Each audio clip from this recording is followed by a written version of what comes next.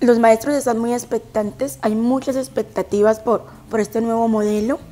Eh, muchos maestros que no habían podido pasar las evaluaciones anteriores, en este momento están ya en proceso de eh, realización de sus videos. Digamos que ha gustado el hecho de que la evaluación va a tener en cuenta otros componentes que antes no se habían, digamos, incorporado a la evaluación. Eh, yo pienso que va a ser muy importante la, parte formativa, porque por primera vez aquellos maestros, tanto los que logren avanzar como los que no logren pasar, digamos, después de las pruebas de, del video y la observación de las evidencias que se van a enviar, van a poder recibir la retroalimentación, van a poder recibir, digamos, esas, esas opiniones de esos pares evaluadores. Entonces, el hecho también de que los estudiantes, que son quienes realmente, digamos, interactúan con nosotros todos los días, van a, poner, van a poder opinar, eh, es también, digamos, que un hecho importante de esta nueva evaluación. El hecho de que quienes no pasen van a tener la oportunidad de mejorar durante un curso guiado por unas universidades, por unas personas idóneas en, en su campo de, de actuación.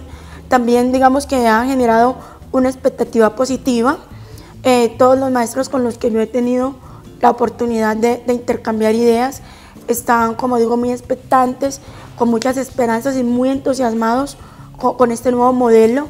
Esperamos pues que, que realmente se cumplan las expectativas y que podamos seguir creciendo los maestros en este proceso.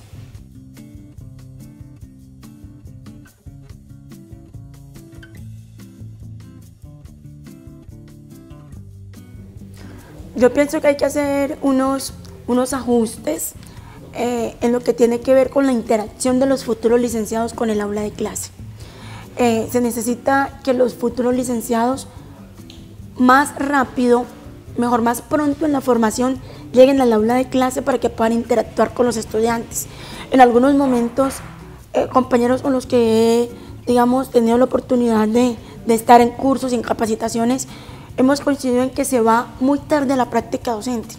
Entonces, cuando el maestro llega, pues llega con un bagaje, podemos decirlo epistemológico, de conocimiento disciplinar, pero la realidad del aula de clase no se conoce. Entonces, a veces los futuros licenciados chocan porque tienen unas expectativas. Entonces, lo que yo pienso es que es importante que esos futuros licenciados primero vayan pronto en la formación y segundo vayan a diferentes tipos de instituciones porque eso les permite tener una visión mucho más real de lo que se van a enfrentar, porque uno no sabe dónde le, dónde le va a tocar trabajar. Entonces, digamos que haya un poco más de equilibrio entre la formación disciplinar que tenemos en nuestras facultades y lo que hay en el aula de clase en la realidad, con lo que uno se va a enfrentar cuando es nombrado o contratado como maestro.